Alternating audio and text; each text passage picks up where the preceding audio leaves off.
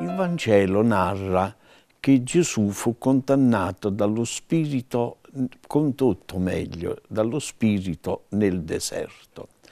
Digiunò 40 giorni e 40 notti. Lo Spirito era disceso sopra Gesù in forma visibile nel battesimo, presso il Giordano, e lo aveva introdotto solennemente nella missione del Messia. Tutto il popolo aveva ascoltato le parole del Padre che, aperti i cieli, pronunziò. Questi è il mio figlio prediletto, nel quale ho risposto le mie compiacenze.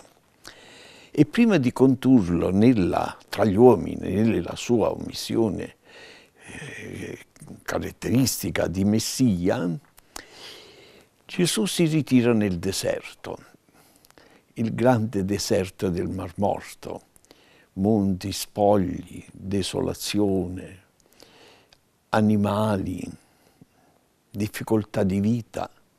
E Gesù si ritira in questo deserto e per 40 giorni e 40 notti non mangia, beve un sorso d'acqua e dorme sulla nuda terra per i suoi monti squallidi e le sue gole dirupate e per la sua aridità e difficoltà di accesso e fra i deserti più orridi della terra.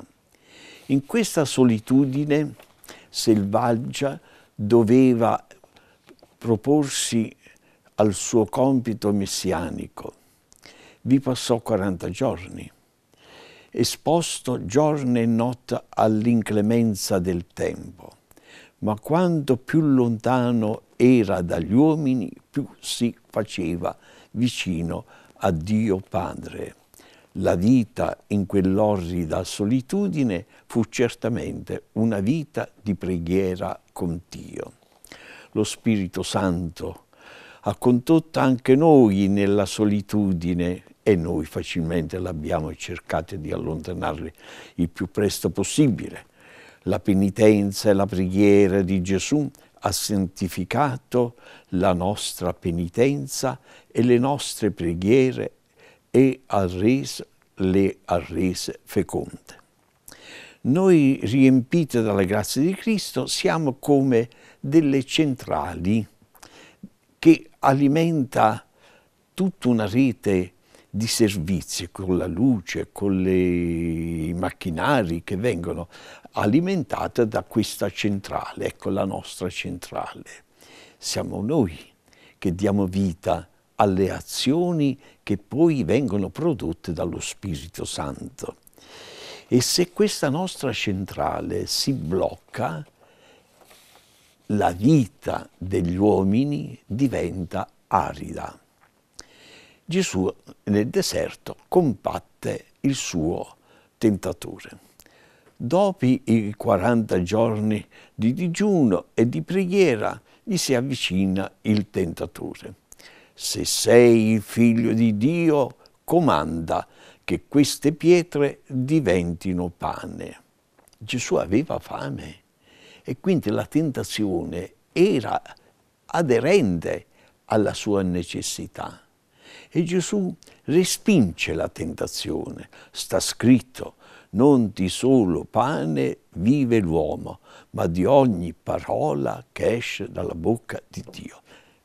Facciamo subito la nostra riflessione. Ma la tentazione era proprio una tentazione. Era un'osservazione giusta. Tieni fame, hai la possibilità di fare i miracoli, fai un miracolo e mangia. Niente di difficoltà. È questo. Eppure, vedete, Dio diede la potestà a Gesù di compiere i miracoli, non per suo tornaconto, per togliersi di mezzo la penitenza, ma per avere una penitenza a favore degli altri. Gesù compie i miracoli sempre a favore del popolo di Dio.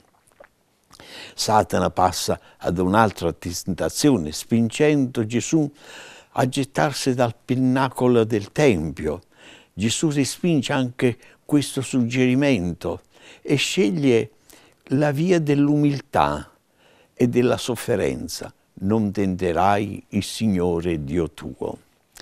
Il tentatore non si rassegna e propone a Gesù che gli consegnerà tutti i beni della terra.